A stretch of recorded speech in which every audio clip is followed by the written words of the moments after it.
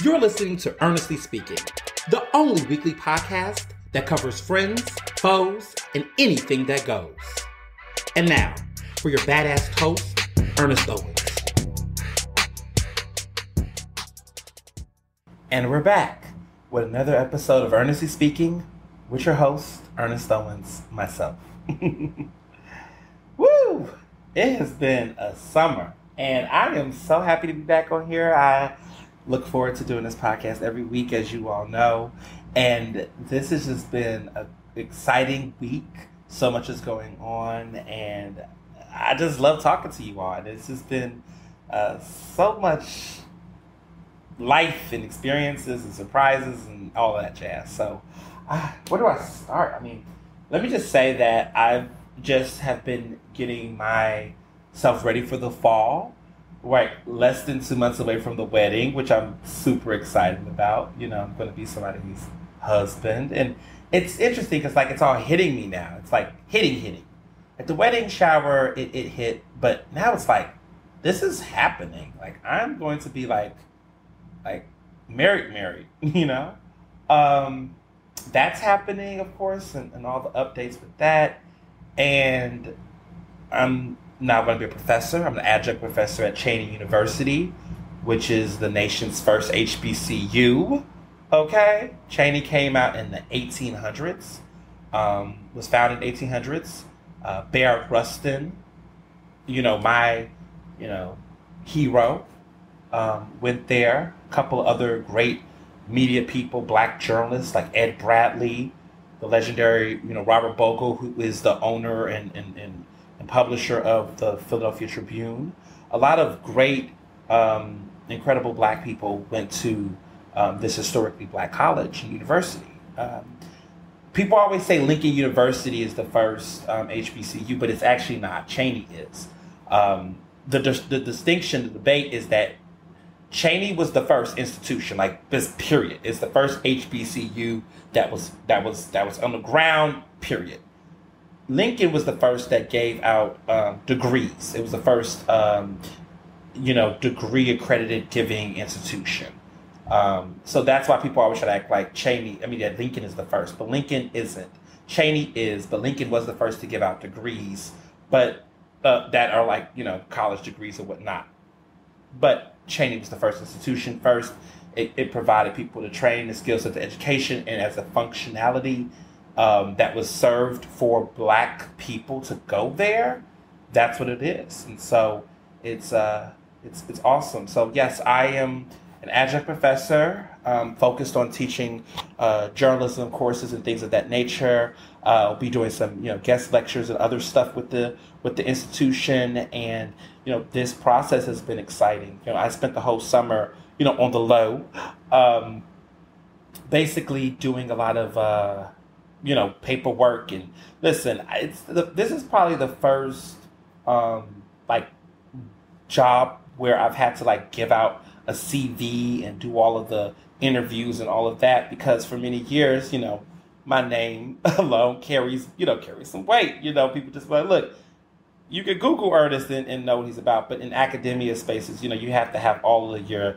your ducks in a row. You have to have the extensive cv you have to have you know the reference letters and all that kind of stuff. So I definitely um, had to to you know get my get my ducks in order to do what I need to do. But went through the process. The the um, the department chair, you know, really uh, embraced me. You know, the provost, the, the people at the institution really, um, you know, like what I'm about and uh, thought I was a great asset. And I purposely chose to uh, teach at a HBCU because, you know, too often, you know, I have always felt that black journalists and, and, and, and, and people like myself who's influential are often going to the predominantly white institutions. We're, we're often going to the University of Pennsylvania's and the USC's and places like that. And, you know, these are schools I went to. And, I, and, I, and you know, I'm a proud, you know, Quaker and I'm a proud Trojan and all that. But I, I just felt like I want to be somewhere where I can, you know, make a different type of mark and, and influence. And, um, you know, an HBCU like Cheyney, and, that's not too far from Philadelphia, allows me to be of influence to a group of students who don't oftentimes get people like me um, in their classrooms, you know, um, as much because oftentimes a lot of great journalists that are in this profession, you know, they're they're running to the bigger schools, and you know, there's reasons for that, right? More pay, more prestige, all that kind of stuff.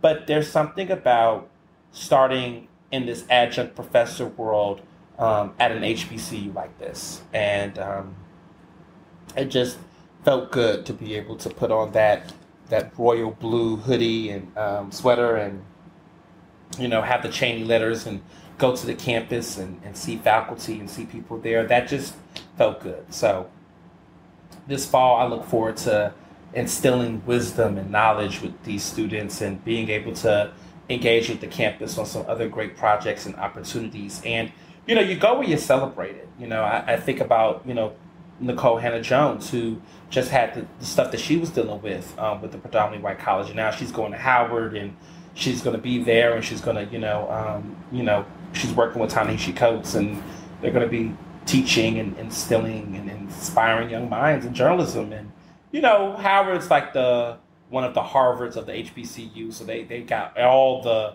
resources. You know, Phylicia Rashad is there, all of the the folks, but Cheyney is an institution that I think some people have slept on in recent years, and to be there and to build this enthusiasm for the school and be a part of that change, um, it was just a boss ass move. And some of you all were surprised and shocked by it, and and I love that. That's good. Like like I'm happy people are having conversations about HBCUs.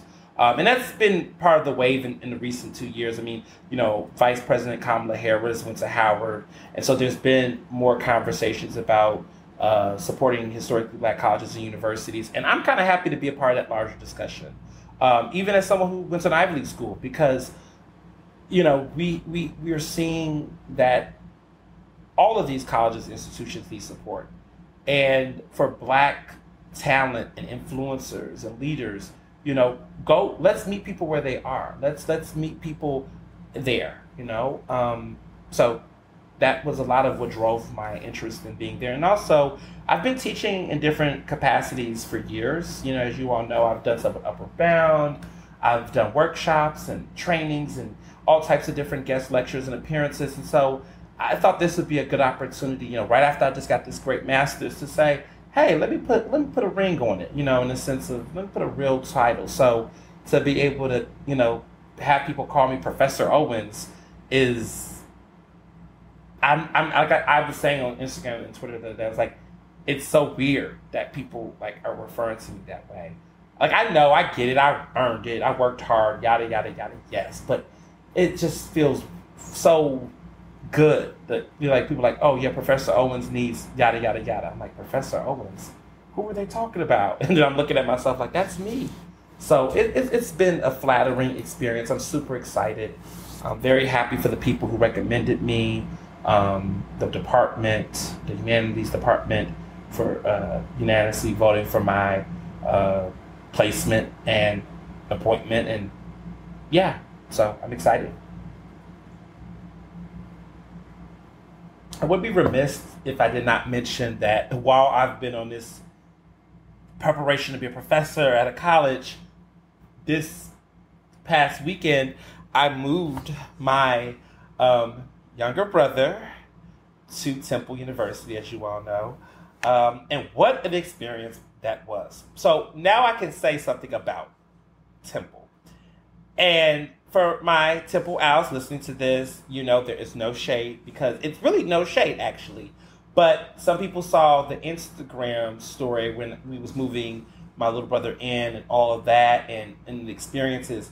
And, and there's just something I have to say about this because now I can because now we're you know we're in you know he starts school next week you know school starts next week so I, I can say a couple of things now because things have you know dust is settled so I don't you know look when I went to Penn which was 11 years ago when I was a freshman woo time flies um, over a decade ago um, if it you know as a freshman housing was guaranteed if you was a little late on registering or getting your housing or whatever the case is, there was going to be a bed for your ass. okay, that, that's just my experience. I didn't know that such an experience was uh, an Ivy League experience or a, a, experience of a very private elite school. That that was a, a privilege, a luxury to have. The the no. Uh, that wasn't the case for my brother. So what happened is is that we paid the deposit uh, for the housing and for tuition, all that stuff. That stuff got taken care of. It was all good. We was happy. We was excited. We thought that was perfect. Shouldn't be any problems. That's what we thought. Okay. Well, somewhere mid the midsummer, they told us that, um, you know, hey, uh, housing has been filled up. There is no more housing available for freshmen. I was confused. I was like, wait a minute, wait a minute. We paid a deposit. What, what are you talking about? Well, they were supposed to select their housing and get their room and coordinate, but we didn't get any emails. Well, did you call? But no one called us. It was complicated. It was crazy. So in conversation, you know, finding this shit out, basically, my little brother did not have housing for the fall.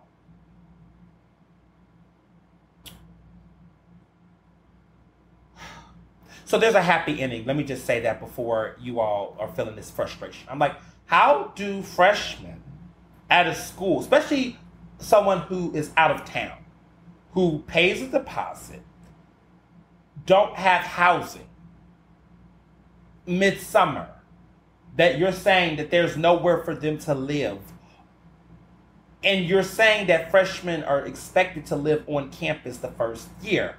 How is this possible? This doesn't make sense to me. I am losing it. So initially, when we had this conversation, when I spoke to the housing people and the things at Temple, I said, okay, um, so what does this mean? They're like, well, you know, they could just defer for a year and then come back. No, no, no, no, no. We don't. No, no, no, no, no, no, no. That no, that's not happening. Okay, next option well, they can live off campus, um, and there's some places they can live. I said, okay, cool. Um, where, where, what's the what's the tea? What's good? So they give me these really over the top, like super super far out, high rise place. I was like, this is impossible. This doesn't make sense. So then, you know, talking to my, you know, fiance, talking to Mr. Johnson, of course, I said, hey, you know, when we was in school and it was off campus, because I always stayed on campus while when I was at Penn, like all four years. But um, the final, I think, year when my fiance was staying, he was working on on a political campaign, took a semester off, and lived with me. They could have financial aid could provide for housing. So you could live off campus and there's financial aid for your housing off campus. And there was a situation we could do that. I was like, okay, you know what? I said to them, is there any like student housing that's off campus that accepts financial aid. And then the woman on the phone was like, Oh, there are a couple of options. I said, See, this is the bullshit I'm talking about. This should have been told to me up front. I shouldn't have had to deal with all this. So, anyway, get a nice place. The place that he's staying at is gorgeous, lovely. You all saw, some of y'all saw in the video. Listen, um, the, the, the, the stove is a real full stove. It's one of those electronic stoves without the coils. Like you put it on a pot, it boils water in 30 seconds. Stainless steel, marble countertops. The bathroom is gorgeous. He has his own room. He's got high tables. He's got a flat screen TV framed up. I was like, shit, check you out. Lives right next to campus, but quote unquote living off campus housing. And the gag is the month the um, the financial aid covers it. He, they accepts his financial aid, and the crazy part is is that that place is less than is way cheaper than the on campus housing if he would have did that.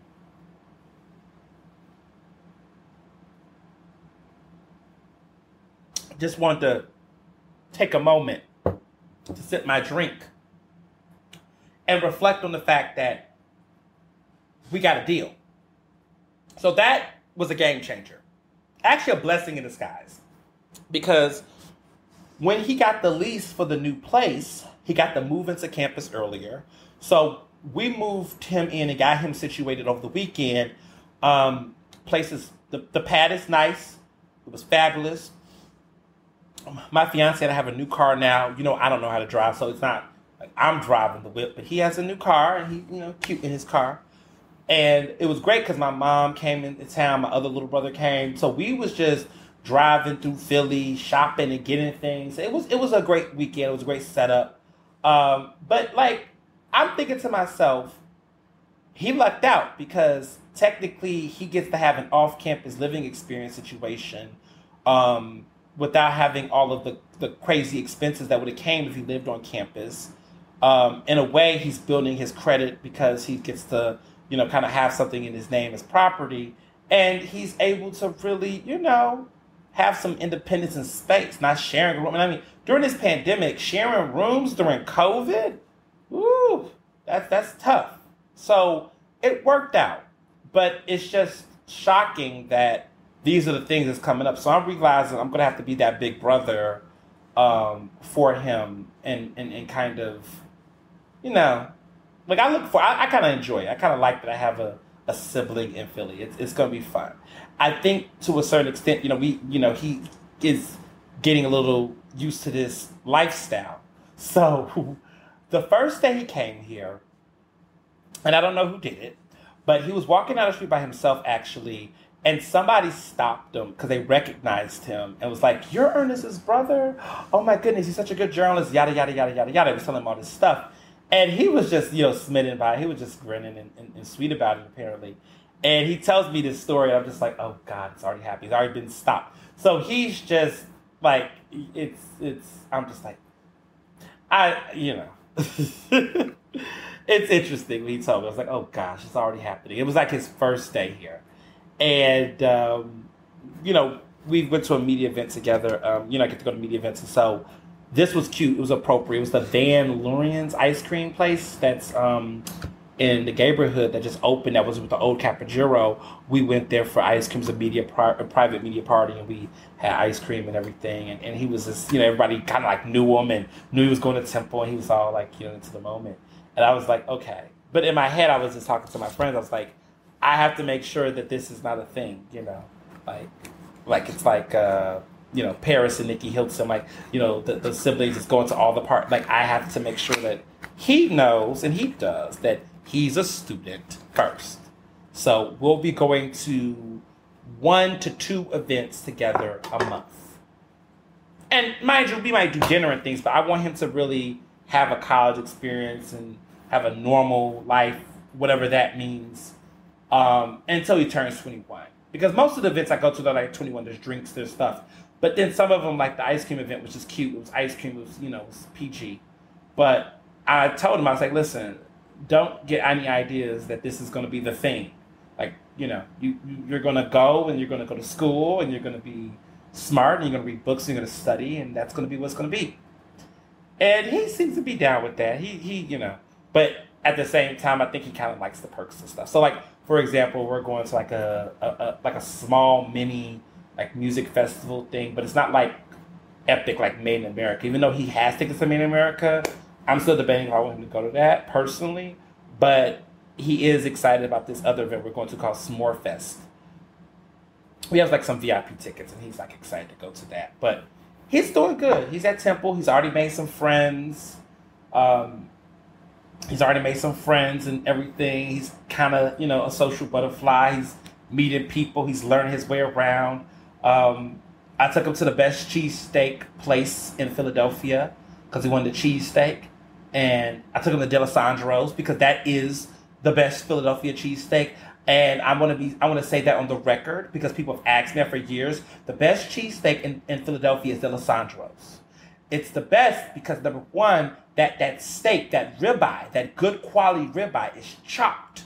You have to chop it. That slicing shit that some of these places do, uh-uh.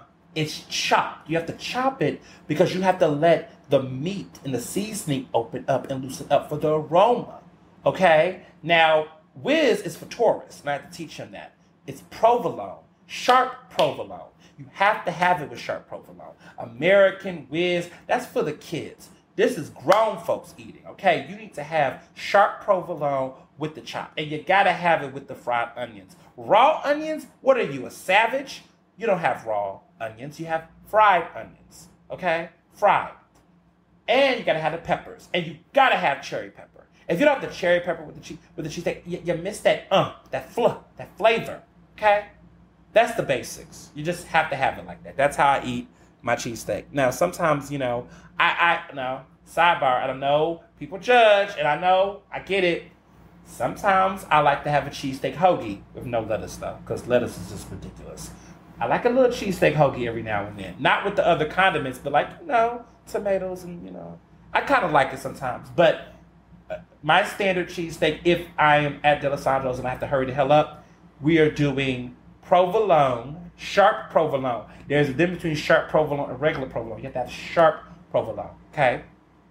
Gotta have that roll with the fried onions, with the peppers, okay, and you know, the hoagie. Best damn cheesesteak in Philadelphia is at Dalessandro's. Period. Don't listen, listen. Now I know there are the side johns, which he said John to me. I said John. You mean John, side johns, but it, it takes time. It took me time to develop my understanding of how to say these other Philly terms. It's taking time. He's a Texan, and he's actually a Texan, so he was born in Sugarland, but you know, of course, grew up in Houston. But he was born in Sugarland, uh, which is basically like a how would I describe like the main line of of Houston, I would suppose. Sugarland would be like to you all who saw my Philadelphia, but he's a Texan. He says to me, everyone has an accent. He doesn't think he has an accent. I'm like, you have an accent, kid. You just think everyone else do. And Philadelphia has such a strong accent, a very strong accent, and and it's grown on me a little bit, you know, clearly. But for him, it's it's it's something serious. And then of course my man has a Jersey accent. He's from Trenton, and he wants you to know that. So it's been interesting. We we did dinner, the family, at the Hoagie Room. So they had really good hoagies and the best damn pizza in Philadelphia, which is at Pizzeria Beddia. So we did the Hoagie Room and uh, the private hoagie room, and it was fabulous as always. And you know, I've been this is like the second time this year I've been, and every time I go, it's magical. It never gets old, and I never eat everything, and it's phenomenal. And it was phenomenal. It was perfection. It was so good. And then, of course, I went to Atlantic City for a staycation. I went to the ocean. Okay, with Mr. Johnson. It was fabulous. It was it was a great time. It was romantic. We went to Amada uh, for dinner. We did brunch at this place called Harper's. Ocean was great. We had the cabanas, and I told you I don't care much for the beach, but the cabana was a private cabana with a with a view to look at the beach. So I'd have to get in the beach because the sand and all that. Just I'm not crazy about it. Now I've been to some beaches in my lifetime. Like I've been to Tel Aviv. So when I was in Israel, I, I, I had, and I also went to the Dead Sea and got all in the mud, and I thought that was beautiful. And I was floating. It was great. Been to Peru a couple years ago. Did some work there. Had a great time in Peru. The Peru Peruvian beach was fun. So I've had, and I mean, I grew up in Houston, so Galveston Beach, right? So I've had some beach experiences. I'm just not crazy about them um, anymore. I don't know sand and all that. I just feel like it's just too much. It's too much. I just I can't get down with beaches. I'm just never crazy about. It. I think maybe because I see so many pictures of beaches that I've been completely like over it. Like I've been so over beach pictures. I, I, I feel like every time I go on social media, everybody's in a bathing suit getting you know ready for a beach so i just i, I never have been hype about it that way um, and it's not because i don't think i have a beach body. I don't think it's about body. It's just it's like okay how many times are you going to see people in the same setup? It's sand. It's water. The water is pretty. There might be i don't even think people even take pictures. I don't even think there's any beach coconut trees anywhere anymore. So it's like sand water a view, okay, you could really be any fucking where at this point. Like, people travel to go to beaches. Like, really? That's where you're gonna do? You're gonna go to another part of the country just to go to a beach. No shade, but it's facts. It's facts. It's facts. So, a lot's been said about weddings, and you know, I wrote this piece that came out of Philly Mag, um, and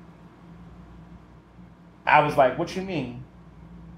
And I said to them about the piece, the stuff I was writing about, you know, making those tough decisions. and the tough decisions is being that, you know, from last episode I talked about this is, you know, axing people off of the wedding um, for not being fully vaxxed.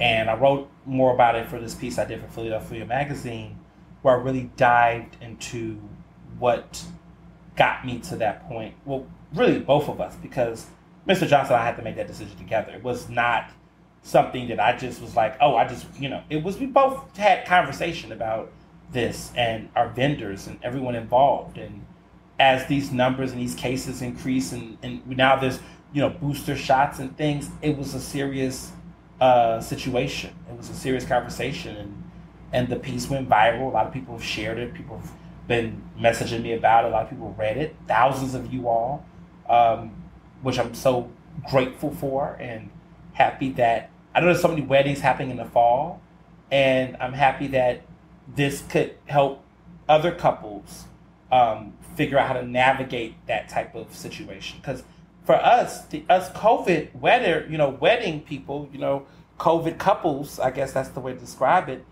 We're doing something that no one else has done before us, and no one's probably well, hopefully, don't have to do after us. Is that we've had to make decisions about our wedding that has, you know, created unexpected rifts and you know friction that would have never been the case you know, a year, no, two years ago. So it's been interesting. But I also believe, and, and this is, I, I, I know this to be true, that in situations where you have family and friends and people you have relationships with, if people love you and they and they care for you and they show up, they're gonna do what they have to do um, where it's at. You know what I'm saying? Like they will they will have to they they will they will make it happen. You know, they'll they'll show up, they'll get vaxxed, they'll do what they got to do. You know, and I feel like that's what has happened here is that in some cases you can see folks being like, look, if this is what I got to do to come to the wedding, I'll do it. And some people, I guess it wasn't enough, you know, and the good news is that that waiting list was lit. And that's why I tell people have a waiting list for your wedding. Have a waiting list. Have a list where people can, you know, anticipate and and show up and show out. And if you could do that, everything else falls into line. Everything else, um, you know, come into place. And and that's what I believe. And that's what happened that's what I saw happen with, with this wedding is that people got excited and they really showed up and showed out.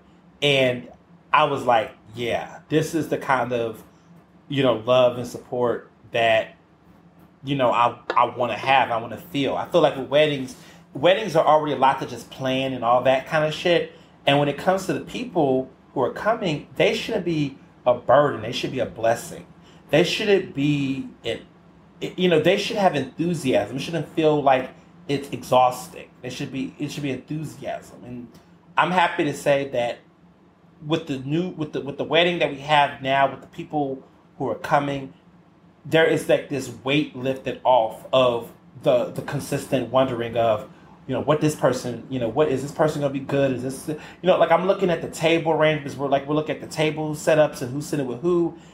And it just it flows better. And it's also just again a, a, level of just reassurance. Like everyone here is is is safe. And that feels good. That feels good. I, I nothing compares to that. Um, but you know right now there's there's a lot going on with the pandemic as you all have been following booster shots are coming up you know we got vaccinated very early so we'll be up for booster shots in mid-october which is right around the time of the wedding. But I'm not going to get. I think the the our so the way it works, the booster shots um, will begin at the end of September. Biden is recommending that people eight months after the second shot should get booster. There's still questioning what to do with the Johnson and Johnson people, But this is for all the people who got either the Pfizer or the Moderna. You, if you eight months after you got your second vaccination, you should be, you know, beginning to get the booster shots. The thing about um, that is that we were early birds, so we got our second shot in February. So eight months after this February will be October, so it'll be around October.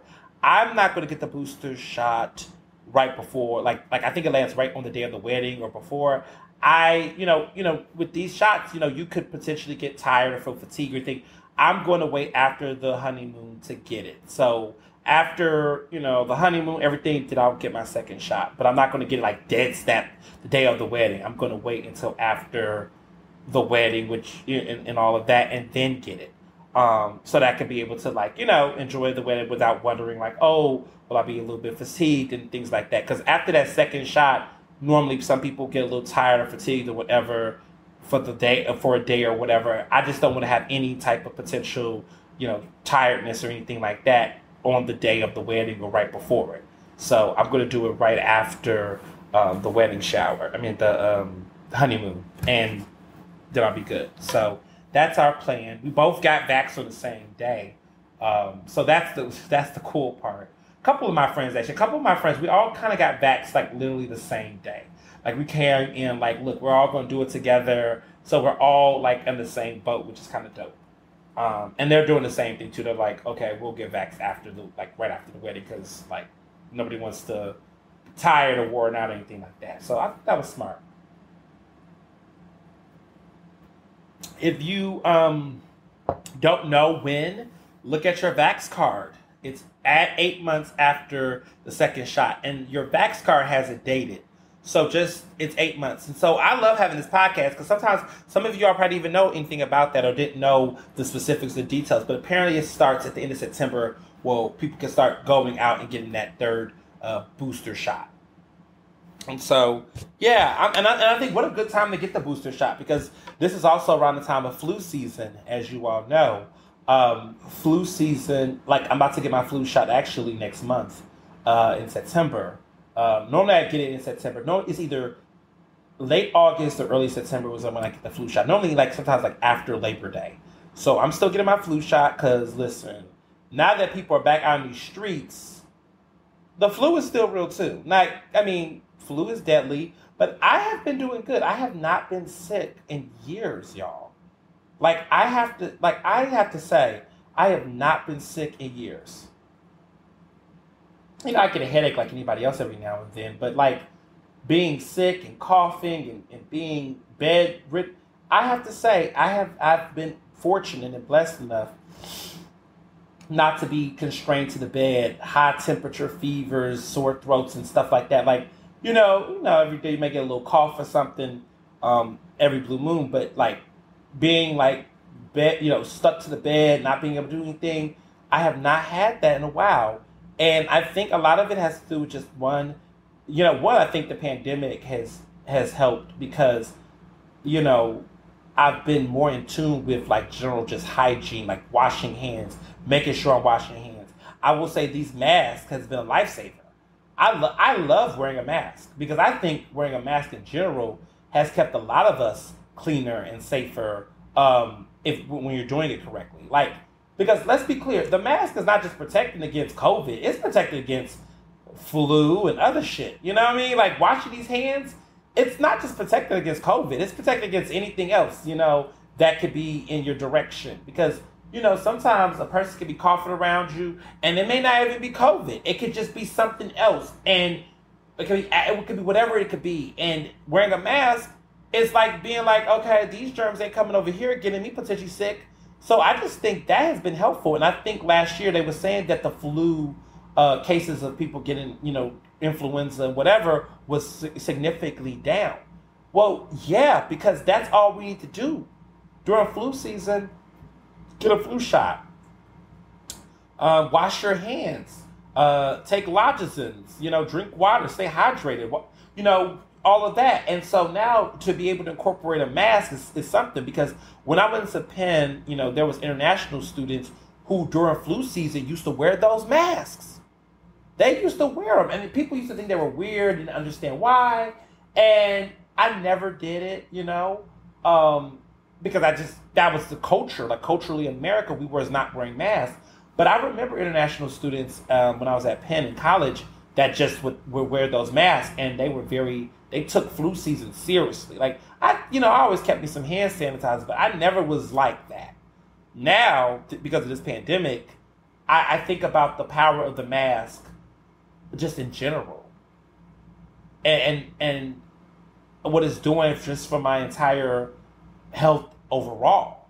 And people don't even think about that. Like we're so fixated on COVID, which we should, but let's think about the benefits, the other additional benefits outside of just COVID alone around wearing masks and hygiene. I feel like my overall public health, safety, hygiene has been at an all time high in a good way. Like I'm not just shaking people's hands left and right. And I knew people growing up that was like never crazy about shaking hands and things and, and very much like that. But I never really had as much thought about it until recently. And I think that's good. Yeah, I, I don't know. I think that's just a good idea. I think that's we should be this is you know the, the lessons we will learn when this is over because it will eventually be over y'all will there'll be a real real light at the end of the tunnel even if some dumbasses don't want to get with the program but there is a light at the end of the tunnel with this and i'm super excited about that so there's been this viral video um, on Instagram. There was a guy who is does not really wear a mask. He's not vaccinated, and he was on on this video talking about how he's gotten COVID three times, and he's some popular influence on social media, and he's been talking about getting COVID three, how he's gotten COVID three times, and mad about it, and talking about people are dirty and nasty, and you know, trying to make a joke. I mean, he's angry, but he's also making a reference in it like that's somewhat supposed to be intended to be for humor, I suppose. And I'm sitting here like, but you got COVID three times, and you're living, and you still and you still won't get vaxxed. How many times do you have to get COVID before you take this seriously? Like how many times?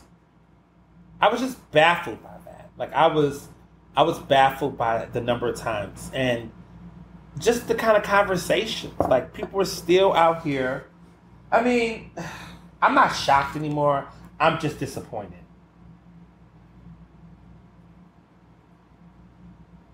I, am just really, I, I, I'm just gagging, gagging, and I've, I've had some some some some hangouts and you know I'm not trying to be that person to tell people in the words of if she dies, she dies. You know. N- not not doing that. Not going to be the Rocky dude.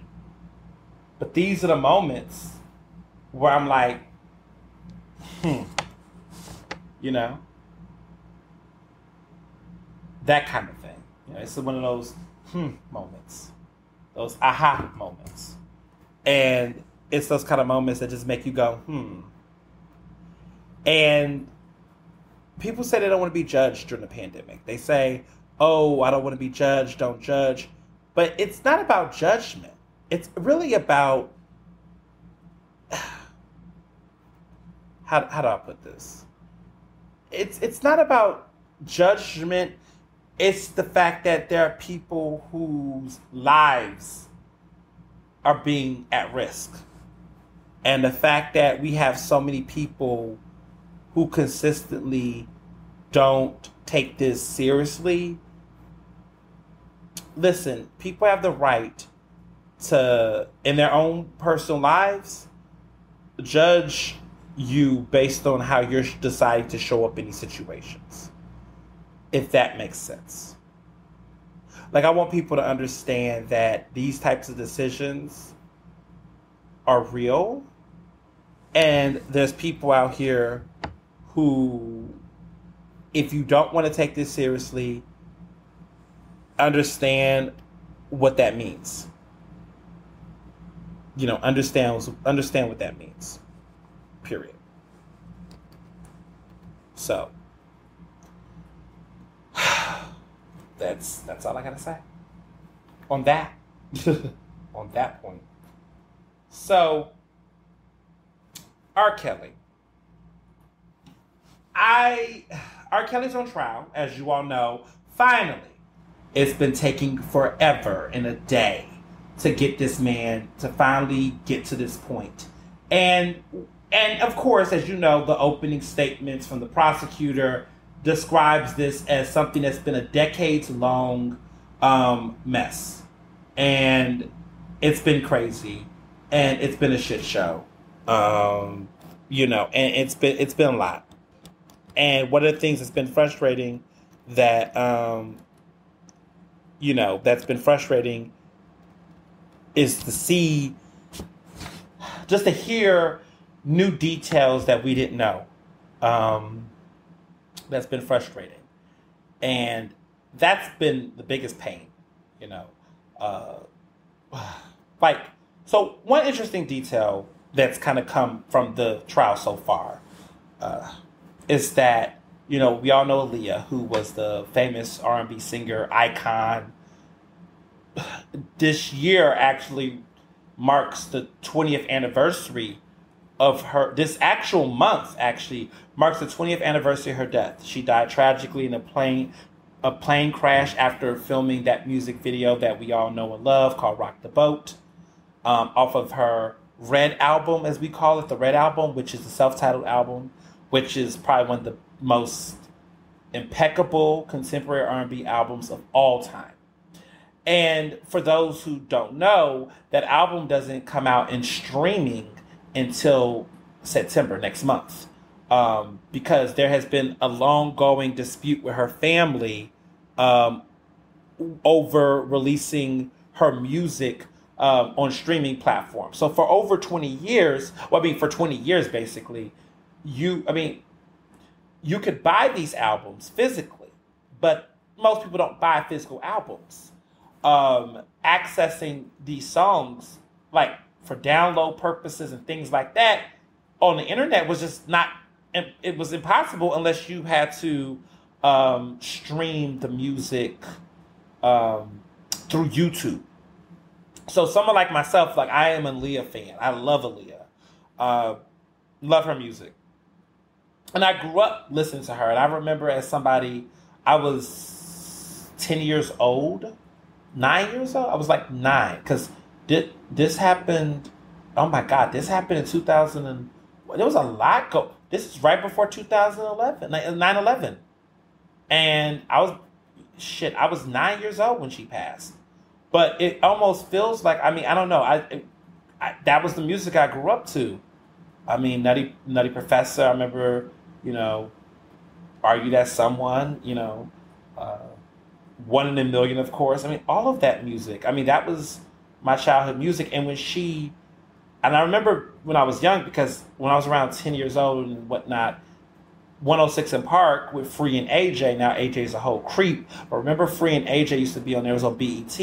It was like our TRL because TRL was what the white folks watched on MTV, which you know I watched it sometimes, but like they didn't like have like you had to be a super super famous black person like Beyonce, Destiny's Child, Nelly, you know, like mainstream crossover black artists got on TRL.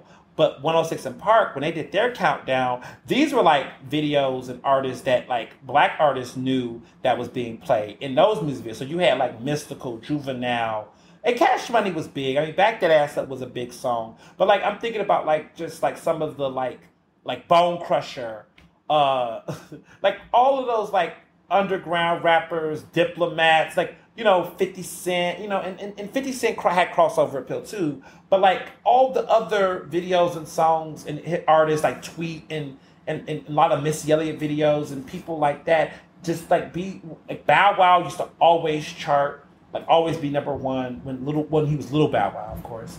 And Destiny's Child videos and, and, and things like that. Like Wells Park was like the place for that. And when Aaliyah passed, I remember like all of every week, every day, like Aaliyah Rock the Boat video, More Than Woman video was like number one on 106 & Park for like ever. I used to remember calling and like uh, going on on the website when it was like AOL and like trying to vote multiple times. Yes, those were the days. okay. Go judge your uncle. Those were the days, okay? That's when we had real fandom. Okay, when you would sit there and you would try to get on your computer and, and run up your mind, you know, run up the, the, the modem or whatever the shit was, and, and, and you would call the radio station, you would demand that song to be played to have the number one song of the day or the night or whatever for an artist. That was real. Like this shit that the kids do on social media now, Twitter and Instagram. This is real fans.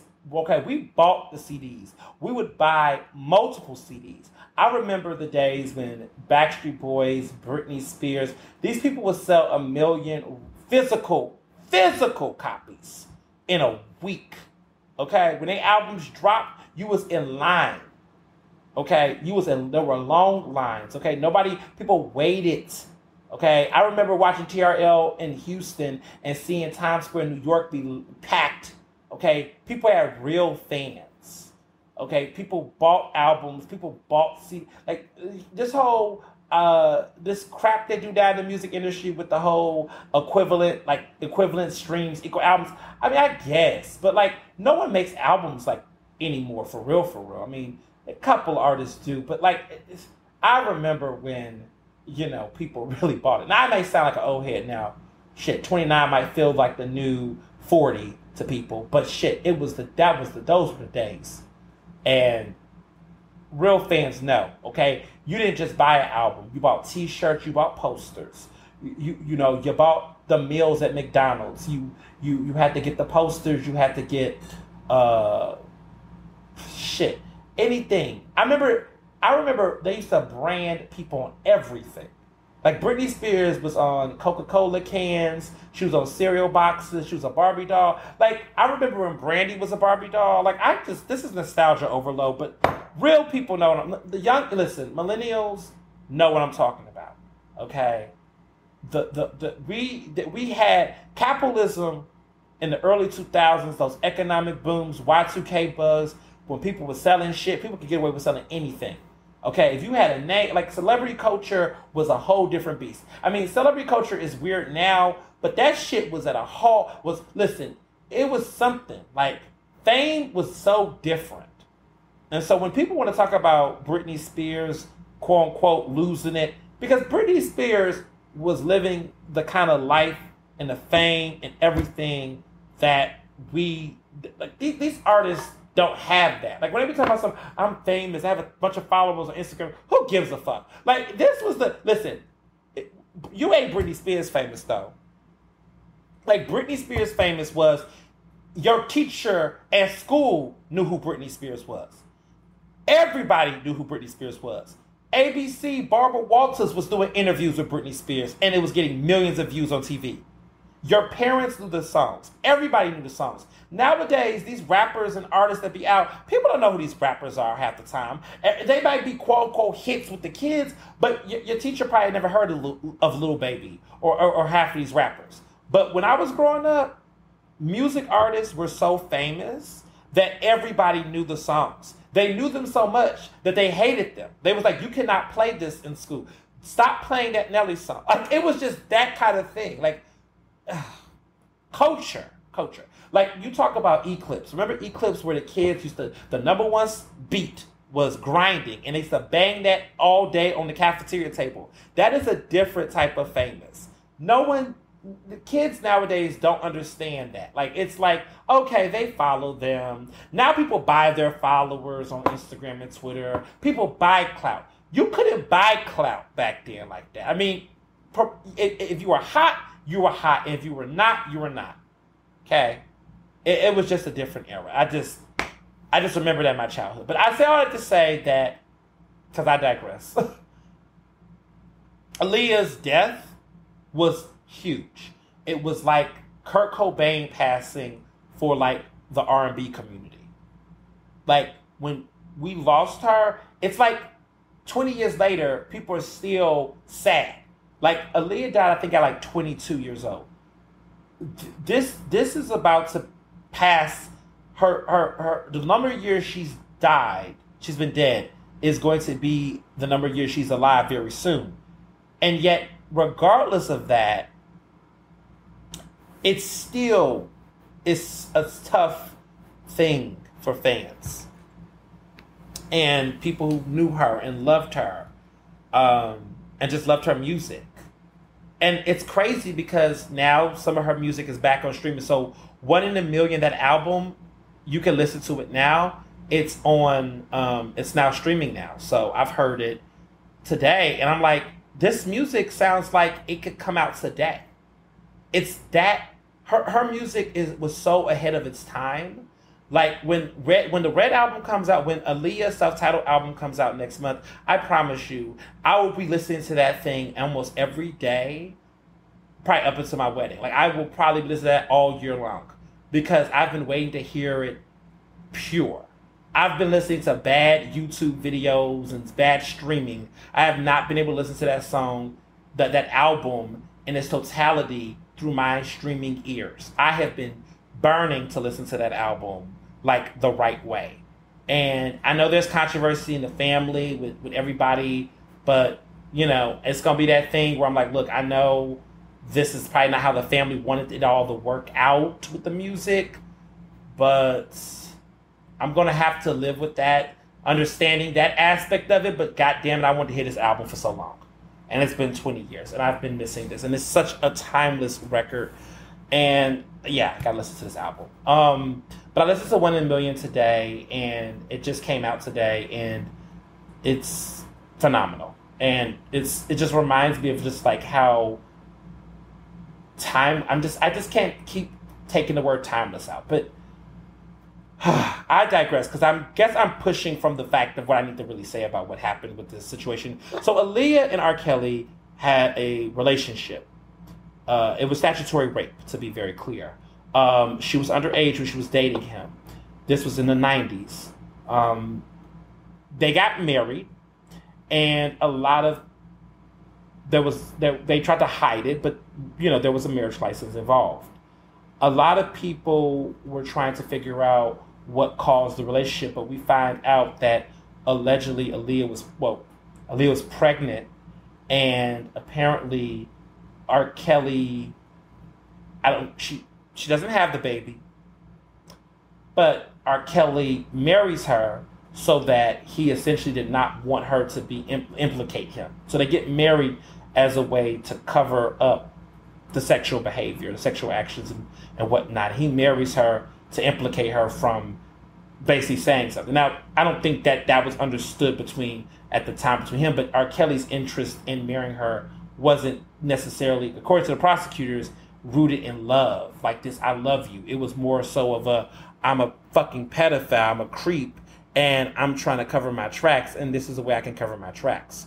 So that's what we find out, a revelation that we find out during the trial.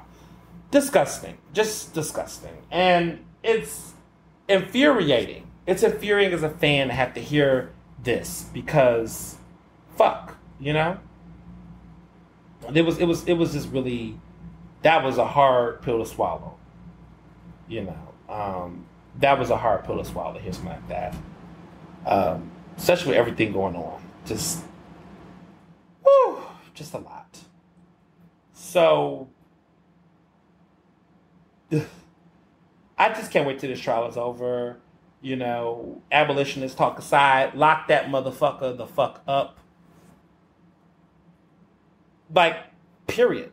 Like, it's over. I, I just don't like. There's just I have no like. R. R. Kelly is somebody that I just have like no, no empathy for whatsoever. R. Kelly has done things to so many women. I mean, I'm not even going to tell you to watch Surviving R. Kelly. You don't have to watch Surviving R. Kelly. Just believe women. Period. So, speaking of sexual assault, abuse, rape, and other things of that nature. Um,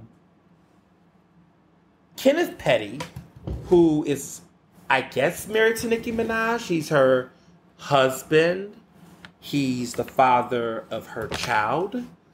Um, his sexual assault victim basically wants everybody to know, including Nicki Minaj, that he that this man raped her.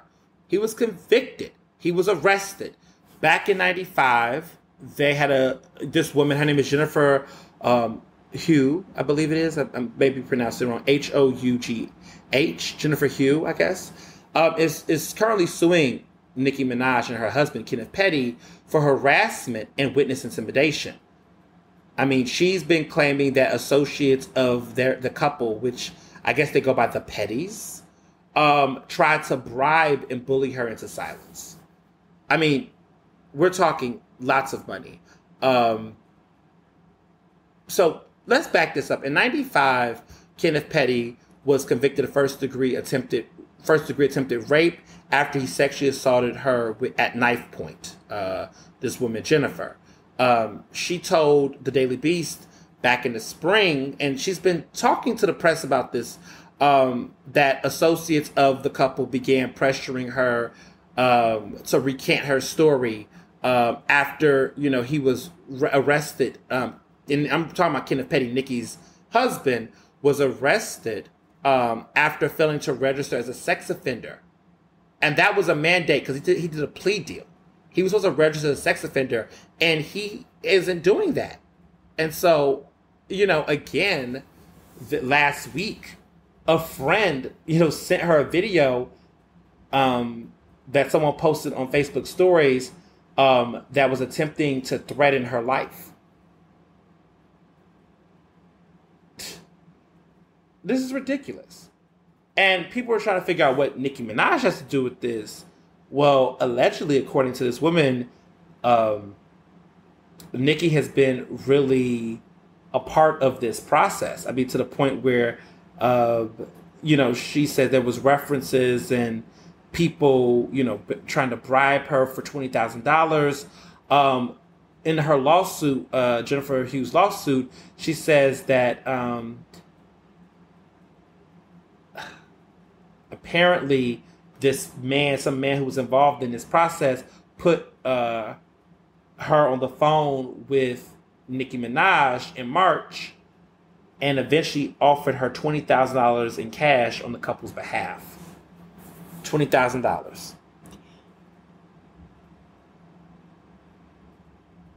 Yeah. So it's been a lot going on. There's been so much stuff. I mean, apparently she tried to avoid speaking publicly about her assault for years.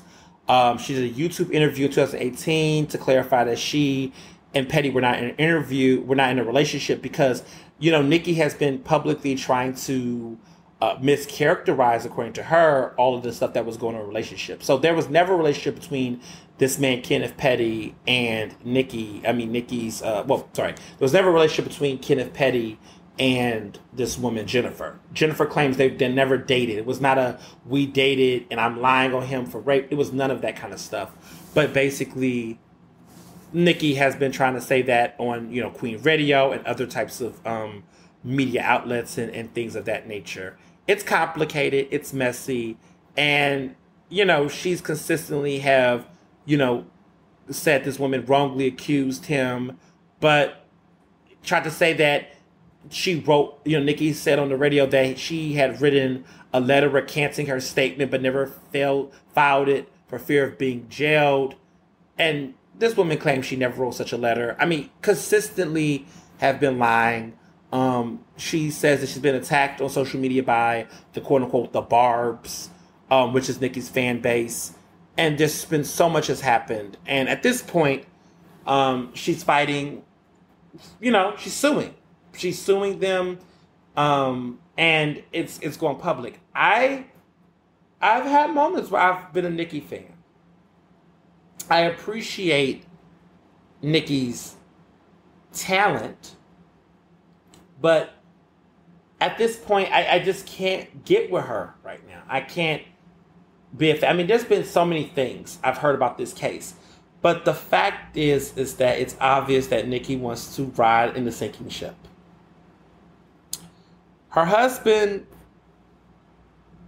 according to criminal records filed, and this victim, he was a sex offender. He's he he he abused this woman He was violent. He committed an act of sexual violence. You did it. And the fact that you're spending, the fact that Nicki is spending resources to try to silence this woman because you don't want the public to know that this man had done this. The fact that you're trying to intimidate this woman, the fact that others are threatening this woman's life, this is violent, this is reckless, it's it's not becoming. And it's hard to anytime she has a moment where you're like, oh, I want to root for her. It's hard to, it, you know, to, to support her or to uh, do all that when we know this. Like, why did you marry this man? Why did you have a baby with this man? There's so many other men out here, Nicki. I mean, you've, you know, I mean, Safaree is not desirable anymore. Meek Mill, yeah, we're not. But like, there's so many other options, and the fact that you've chosen this guy, and like, who is he? And and and, and it's like he's bringing her down, and it's just so disappointing. It's it's it's a disaster, and it, we all know this is not going to end well. And the fact that she's not implicating herself in it is like, why do that? Just doesn't make any sense. And other things that don't make any sense. This Jeopardy situation, like, I don't even, like, what the fuck? Like, first of all, shouts to LeVar Burton. You know, there is so much that needs to be said about this, the updates about what's been going on you know, Mike Richards, as you all know, is executive producer who was supposed to be um, on the show.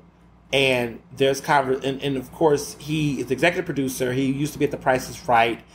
Um, he was supposed to be the host, co-host of the show, um, even though he was executive producer, which is like weird, boring white guy. They did a whole series, you know, for the past several weeks, months since since Alex Trebek's death to look for the next new host. Everybody really wanted LeVar Burton. There was lots of talk about LeVar Burton. I was crazy about LeVar Burton doing it. And at the end of the day, you know, Mike Richards, you know, is is going to end up being the guy at the end. So it's like this mediocre white man ends up taking over this show, and it's like, well, what the fuck? Why why did that even happen? Well, there was concerns about his issue with the Price is Right, but then another bombshell story comes out, which was in the Ringer, talking about some of his other past situations. Like he was on a podcast mocking women and Jewish people and other marginalized communities. And then, you know, rather than address that, he just scrubs the podcast off of the internet um, and takes all that out. And so it's like, it's, it's one of those things where he doesn't want to be accountable.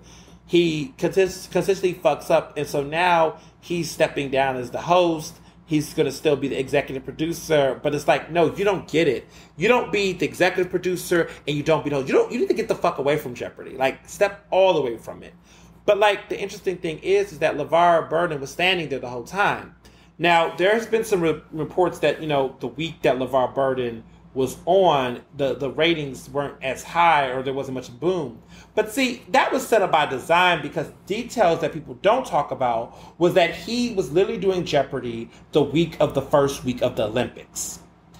Also, Jeopardy's show that week, they, they kept moving the, the, the time of the show because of the Olympics. So there wasn't any consistent viewership because one, the fucking Olympics, the fucking Olympics. And oh, that's right, the fucking Olympics. The first week of the Olympics, like literally aired. And so no one was watching Jeopardy as much as they should. Now, I was doing some DVRing because I did want to support LeVar and I did listen to uh, and watch, you know, the episodes. I wasn't glued to Olympics like that either, but like it was a lot going on that week and it wasn't a fair run. Like he should have had a clear week where there was no major like I don't know, the fucking Olympics being on, and there should have been consistent scheduling, so he would have had the same shot as those other white co-hosts or special guest hosts. He didn't get that. They played him out so late, so they set him up for failure. They set him up for failure on design, by design, and then turned around and just like that gave it to this boring ass guy, Mike Richards. So it was like they didn't want him to get it, and Mike Richards did that on purpose. He's a hater. I don't trust this man. Clearly, this man already is a problem. And it's obvious that all the anticipation, the hype.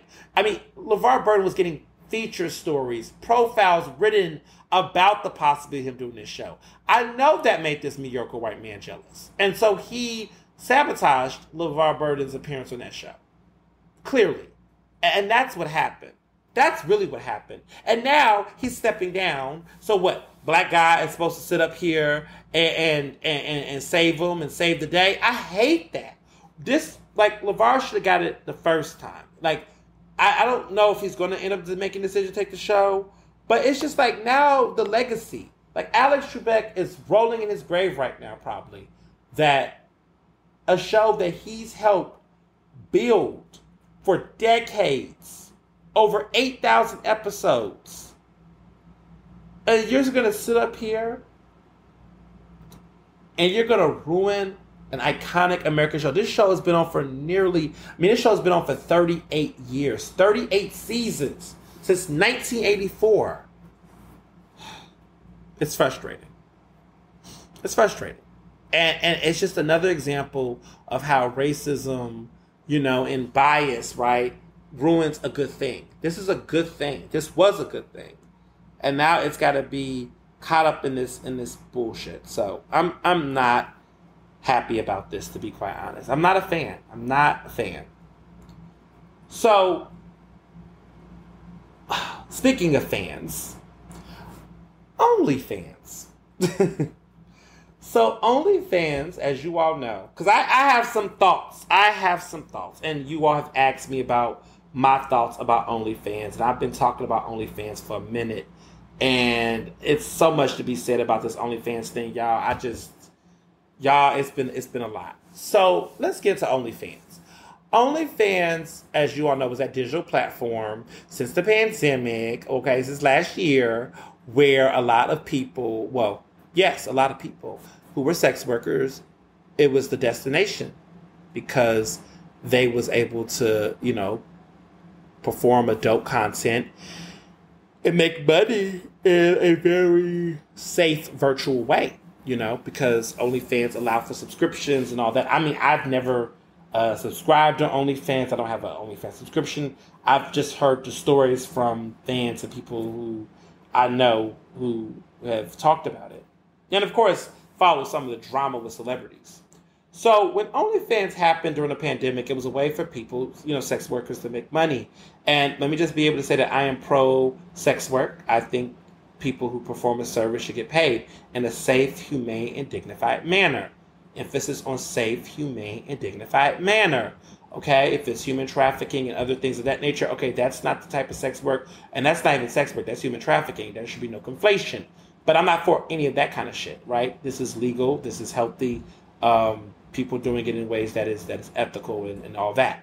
So I feel like if you're an adult and you want to go on OnlyFans and you want to um, do some things, something strange for a little bit of change, knock your socks off. It's, it's if it's consensual, it's a, it's your business. Do your thing, okay? That's how I feel about it.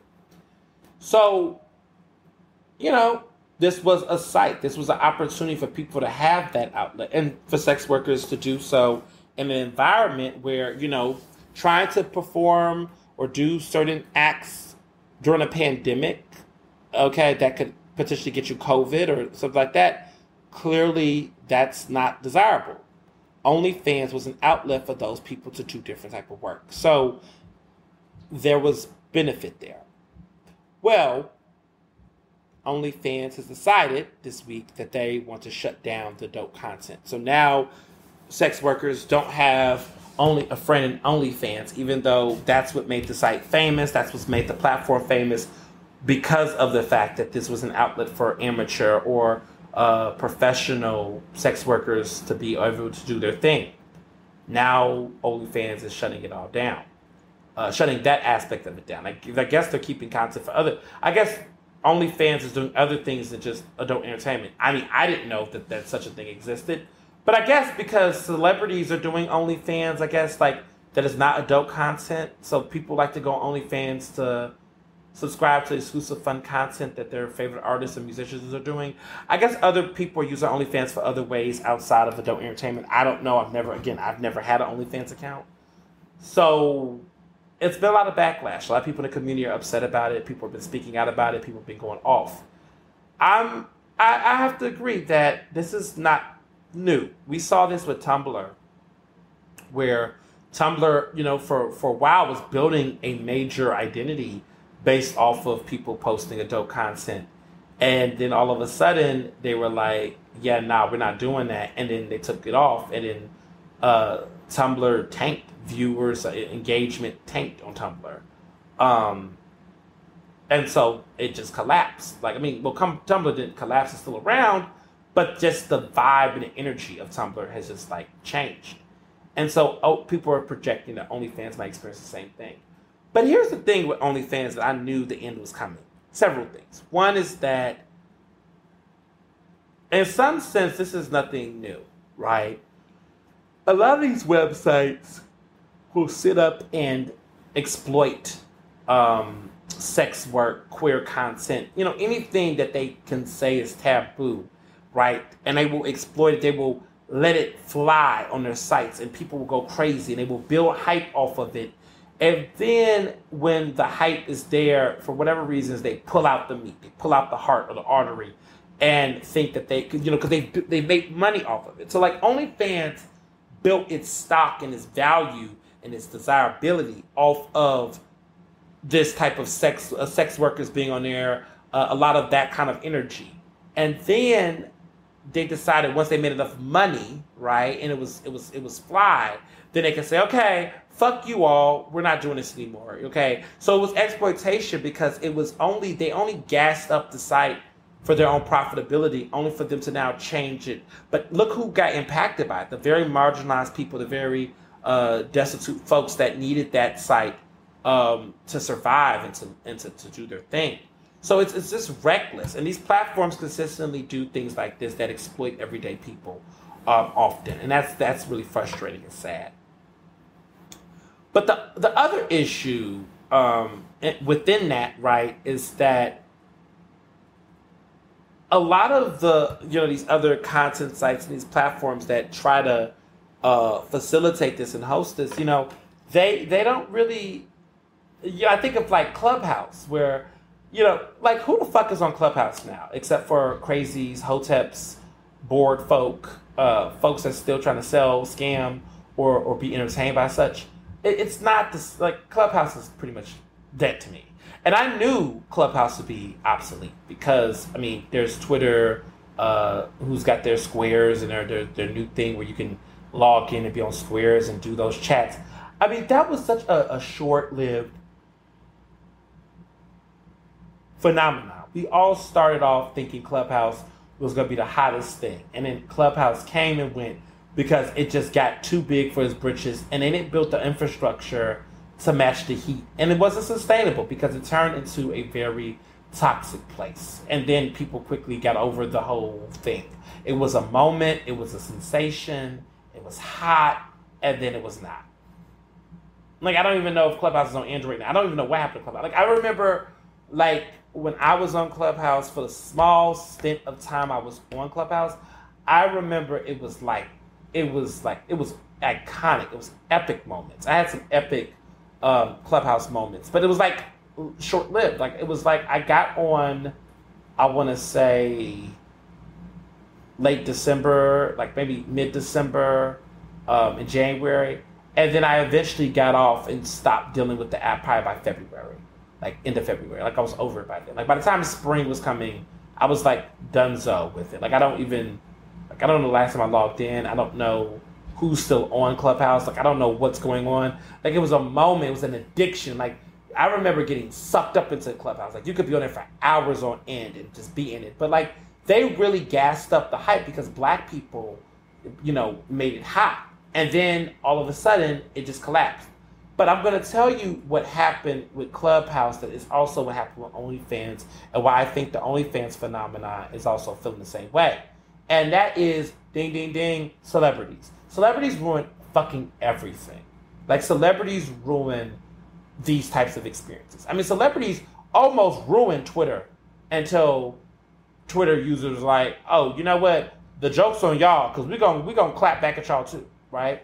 People like me snapping at Justin Timberlake and clapping back at him humbles the space because everyday people can push back at these celebrities, like, okay, you know what, you're doing too much, and yeah, right. And then people argue it's council culture, but mm, we'll save that for the book. I, I don't think that it, it I think I think celebrities they just don't know how to just be just be right. I'm not even gonna say be normal or regular because that's just not their life. But they just don't know how to fucking be. And so what happens and what exactly happened with Clubhouse is the celebrities will come in the rooms, right? Those rooms. And they would just some of them I think just want to be in the mix. But there's also this point for them where it's like, oh, I can't just be in the mix. I, I have to be nosy. Like I need to be seen. Like they want attention. And it's like, okay, but I just want to talk about the ills of the world. But you want me to now, like now you come in and now everyone in the room is like, oh my God, Lupe Fiasco's in your room. And now we have to let Lupe on the thing. Or LaKeith Stanfield is in the moaning room. We got to bring him up. And then it becomes a whole different element and we lose sight of what's important and that's what how what ruined Clubhouse was that it was just too many celebrities. Like whenever Meek Mill and DJ Akademiks and all these other nuts got on Clubhouse rooms and chats, it just became an entirely different experience. And it just became posturing and groupies and fandom, and it just never became a normal experience. And the best moments I had in Clubhouse were moments where it was just everyday people or, or folks that were, you know, having tough conversations and there was, you know, accountability sessions. And so I just missed, you know, it was a moment, but it, it got ruined because celebrities ruined it. And I think about OnlyFans, and OnlyFans got ruined by celebrities because I remember when Safaree, you know, Nicki's ex, um, who I guess is largely endowed in certain positions, decided that he wanted to start, you know, providing adult content on the site. And then there was other celebrities who was doing similar things. They were making thousands upon thousands of dollars of putting up nasty adult content, um, you know, for subscribers. And so people like Safaree was making thousands of dollars because he was swinging his, you know, diggling all on camera. And it got annoying because to a certain extent, I think what happened with with with with OnlyFans, if I'm not mistaken, was that there was a celebrity who got tons of people to give her money, um, but she didn't provide the content that matched what she was selling. I think her name was Bella Thorne, I think I read about. And as a result, OnlyFans changed their whole financing model of payment for talent because of that shit show. Because there were people who wanted refunds and they were upset and, and you know, and all of that. And it kind of fucked up the the money system flow. So they had to change it, which made it harder for sex workers to get access to the funds immediately um, that they were being paid because this stupid ass celebrity who really just should have never been playing on this fucking app, um, you know, decided to do that. And then that, you know, made it harder for everyday people who, you know, do sex work. So it was just, you know, it's just celebrities ruin everything in the sense that they so badly want to, you know, capitalize off of whatever the social cultural zeitgeist of the moment, but then they, they, they do more harm. And then people that they claim they care about or try to act like they care about get harmed by whatever reckless decision they make. And it's just, yeah, it's just annoying. And so what's happened now on OnlyFans, you know, I'm I'm I, I'm I'm I'm I, I'm in solidarity with the sex workers. I hope that they you know, that there is another platform or outlet that allows them the resources for them to, you know, thrive and survive. Because goddamn, like, what the, you know, what the fuck? So, yeah, fuck OnlyFans, for real. So, lastly, I get well, mm, well, semi lastly, um, the White Lotus, this show, okay I watched it. I I've had some mixed thoughts. So it's created by a guy named Mike White, and he's very white. Um, he is the executive producer, director, the writer, the creator. And this show, The White Lotus, is it's hot. I don't want to get too much into it. Maybe some of y'all may want to watch it. I do encourage you to watch. it. I think you should watch it and and see it for yourself. It's six episodes, a mini series. It's an hour each, so it's a it's it's very bingey. You know, you can you know watch it on a rainy Saturday or whatever. Just go through the motions and just take some time aside and just just binge it for a day and, and, and just relax. And I kind of did that this week. I, I kind of just like, you know, flew right through it and watched it and got my life. Um, at first watch, I was very intrigued. And then as I began to take time to reflect on the show and unpack it, I was like, was it as good as I thought it was, or was I just so caught up in the awe of it? I don't know. I I, I don't know. It's a very it's. It, I don't want to tell the show, but it's basically a show about rich white people, pretty much. And there is some people of color that's integrated in the show, like Natasha Rothwell. She's an incredible actress. She was, of course, in. Um, she was in. She's done a lot of things actually, but I guess um, you know she is in that show with Issa Rae. She's done a couple of other like side projects. Um, well, she was in Insecure with Issa Rae. She was in Insecure. Um, and the show's on is about to get ready for its final season. But she was in Insecure with Issa Rae, and she's been to some other projects, but she's in this miniseries and she's phenomenal. Um, I mean, the the show is basically about a bunch of rich white people and how their wealth, privilege, and other aspects of themselves collide with their identity and self worth and importance. And it's supposed to be a critique about this life and this world. But in a sense, while it is a critique, it reinforces status quo. But I don't want to tell too much about what happens, but it's just moments where I'm like, mm. but there are moments where you go, ah, and it's just, uh, did I like it? I thought I liked it. Okay, I'll just say, I'll say this much. I mean, watch it for yourself. Take your notes. Figure out how you feel about it. I don't want to ruin it, but it's interesting. I was just say that much.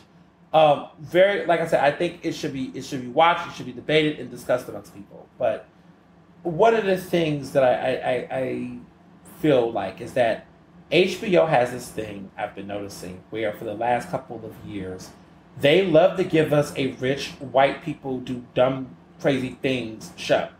So like before this was The Undoing, which was like totally a white show with some crazy ass, just crazy, and that was Nicole Kidman and Hugh Jackman. And listen, I enjoy me a good Nicole Kidman film. Hugh Jackman was pretty good in this. You know, Hugh Jackman's on and off as an actor. Sometimes he's good. Sometimes he's just always playing the same person. Not Hugh Jackman. Um, not Hugh Jackman. I'm sorry, the wrong, wrong, wrong, wrong Brit. But you know, it, it's, it's, some of these actors that um, that are on these types of shows. You know, it, it's it's a certain type. They're just the most the whitest of white actors, and these they they sometimes they feel like they're doing something. You know, really sophisticated, but it's kind of basic, but we just still like it if that makes sense. Like, we know it's basic. Hugh Grant, the wrong Hugh, not Hugh. Yeah, so it was Hugh Jackson, but this is Hugh Grant. So Hugh Grant is Jonathan Fraser.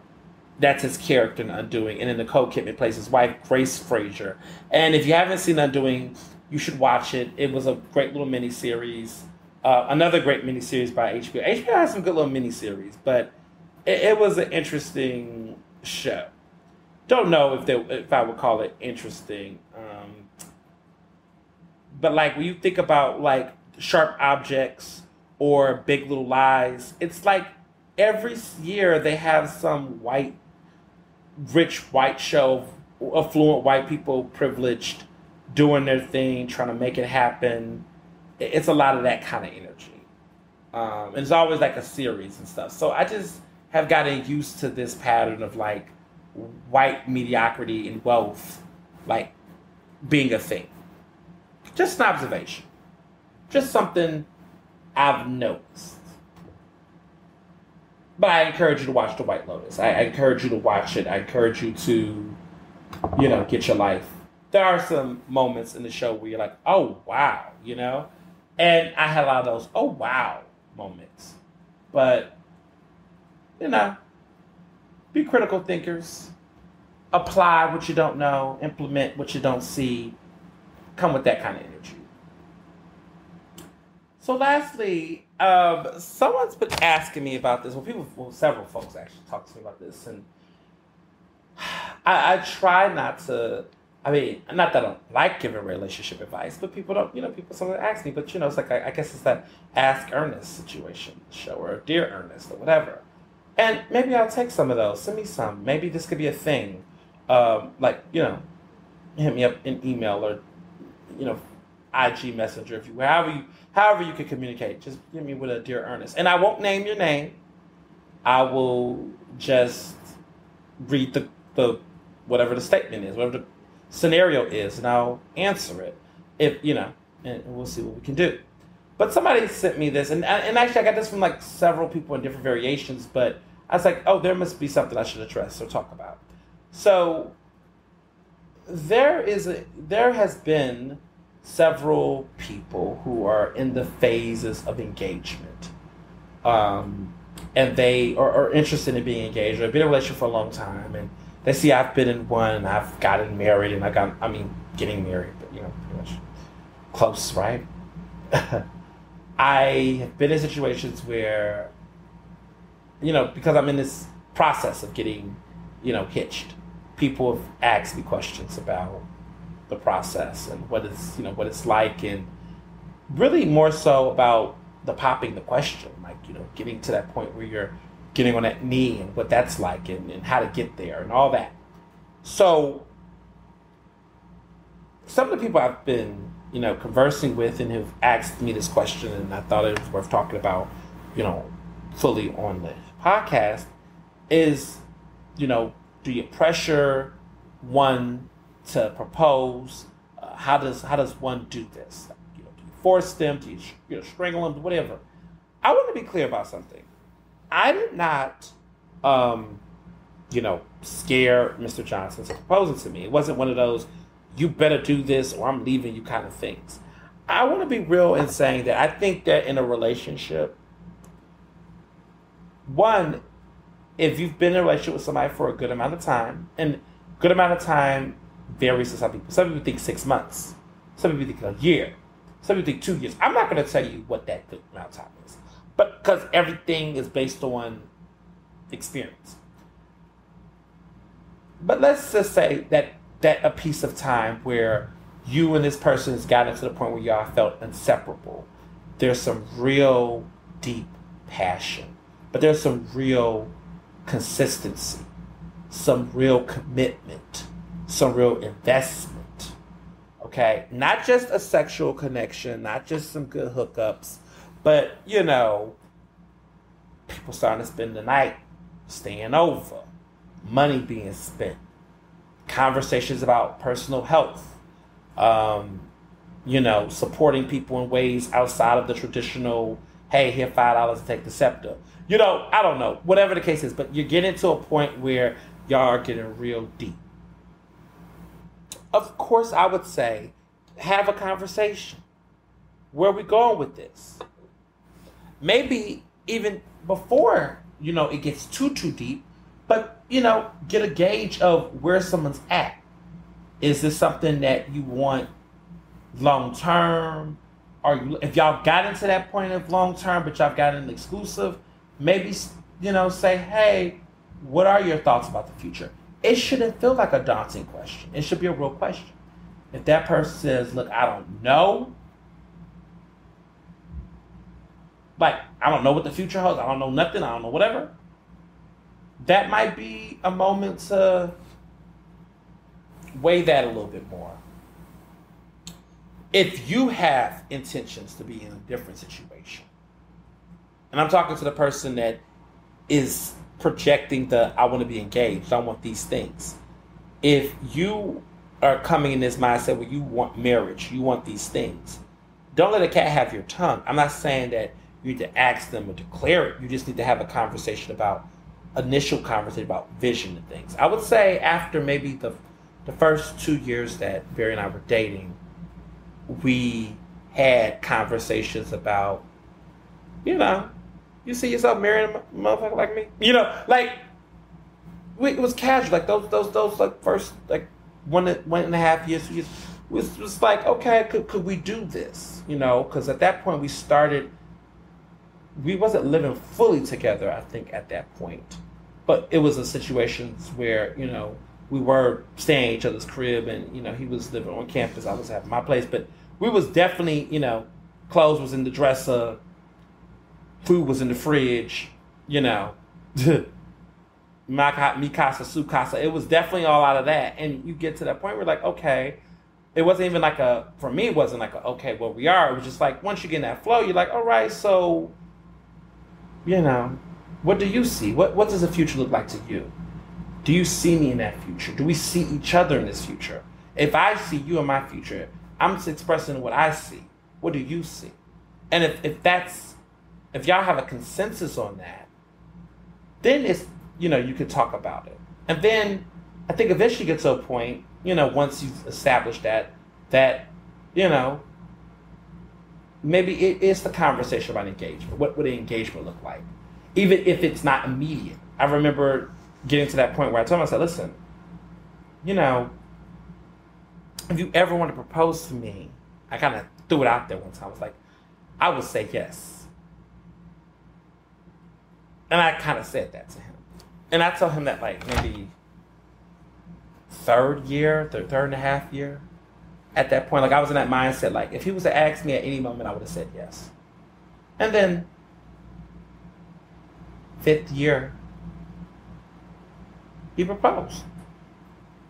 And our situation was a lot different because we was in school for like the first like half of that time. We was he was in school. I had got school a little bit uh, I'm, I'm older than him, so I got out of school a little bit later than him, a little bit earlier than him. But he was still in school, so it wasn't like there was me a jump. Now, if you are someone who's completely out of school, you with somebody, I don't know if I. I mean, I can't judge. I, I don't got opinions, but like I was just be like, if y'all both adults, y'all both got jobs, y'all both doing your thing. I don't. I wouldn't say five years for an engagement unless there was an understanding is optimal or ideal my opinion, that wouldn't be. I don't know if I would wait that long for five years, maybe. But you know, if I was, you know, fully in the, you know, like like let's say like I got a relationship right now, where I'm at in my career, money, everything, no school, nothing, anything, everything was done. I don't know if I would be waiting to be 34 to be proposed to at at this point in my career. I would probably be looking around about two, two to two and a half years. From me, me personally, that would should be some movement at that point. Personally, that's my personal opinion. That's not me telling people what to do. That's my taste. I would say too is that it needs to feel like something that's mutual. I think when people feel obligated to propose to somebody, that's always a recipe for disaster.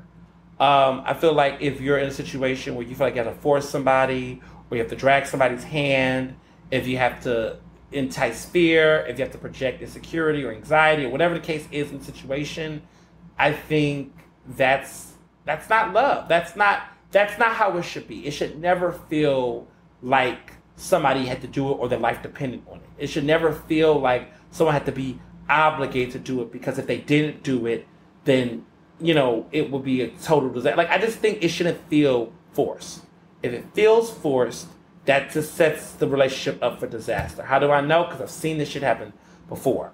There's been this new phenomenon lately, and I've been hearing about this where maybe it's been going on for years, but a new phenomenon I've been seeing in like certain networks that I've been, you know, in is that a lot of the guys nowadays are like straight up proposing to, to, to women. I'm not seeing it I mean, well, shit, I've seen in the gay community too. People, period, are proposing to people, and they're calling it. I'm calling it. I'm calling it this, but this is what it is: pacifier engagements. What's a pacifier engagement? It's an engagement where the person was dating this person and were whining like a baby about engagement, and basically the person got the engagement ring like a pacifier put it in their mouth to shut them up just to keep them quiet about talking about it, only for them not to, in the end of the day, fulfill the mission to get married. They would either sabotage the relationship, end up just breaking it off, and moving on with their life and keeping this person somewhat in bondage or quiet for about a year or two. There's a lot of pacifier engagements that go on. Okay? I've seen it where it's just like, I'm just gonna tell this person we're getting married, I'm gonna propose to them, we'll give them a ring to make them feel good so they can have a little social media moment. Because some people out here are getting engaged for the gram. Like the the idea and the magic of an engagement is more important to them than the actual idea of a life spent for life or forever with a person. Like a lot of people are not thinking even about the idea. Like when I got proposed to, in my mind, I was like, I'm gonna be with this man for the rest of my life. Like we're going to get married. This is going to happen. Like this is fucking serious. Like my mind and my whole experience, it wasn't just like I don't know. People be just out here. Oh, you know, you know, they proposed to me. I got a ring on my finger. It's like, do you understand how serious this is? Do you understand what that means? Do you understand like what that's how your life changes? Like my life forever changed in that moment. Like I realized, oh, this is this is deep. Like okay. And when I said yes, I thought about it. I thought about it before it even happened. Like, what would I do if this man proposed to me? And I was like, yes. And I was like, hell yeah. And I knew it because that's what I felt. And I don't think people take, some people don't take the time to really think about it. Not just the person saying the yes, but the person proposing. Like when you get on that damn knee or when you do this, do you understand it's more than just simply professing love or just trying to convince a person where you, it, it has to be a real thing. And if both of you all cannot wait for that or the time in which you want this person to do this isn't aligned with your personal time or whatever you got going on, then maybe it's not meant to be. And you can accept that and move on and get what you deserve somewhere else with someone else. But just this, you know, I don't know. Just don't, it shouldn't be forced. And um, yeah, I, I just think that's something I've learned over the years, seeing situations happen to folks in my social circles and my network. I just feel like real love is organic and it should be as, as organic as the food that you eat most of the time, right? I mean, we got cheesy love sometimes, but I just think that it should be organic. It should feel real. Um, it, it you should it should just be a consensus. It should be a certainty in that decision. And too often, people just treat it like it's a superficial thing that they can eventually get to. Like, okay, I know it's not real now, but it can get there. No, it it starts at the beginning. It starts at the first meeting. It starts with the dates. It starts with meeting family and friends. It's it's a it's a holistic experience and it's inexplicable. So yeah. I'm super excited about what's to come. I'm doing countdowns already. I can't wait to update you on some. I am keeping secrets. I, I'm keeping secrets again. I know that y'all be like, come on, but there is something there are some things going on right now and I have to be quiet about it. But stay tuned and as always, be best. Ernestly Speaking is recorded in Philadelphia, Pennsylvania, and can be found on Apple Podcasts, Google Podcasts, Spotify, and SoundCloud. To stay up to date with the latest on the show, follow me on Facebook, Twitter, and Instagram at Mr. Ernest Owens. Use the hashtag Ernestly Speaking to tell me what you thought about this episode, and check out my website at ernestowens.com.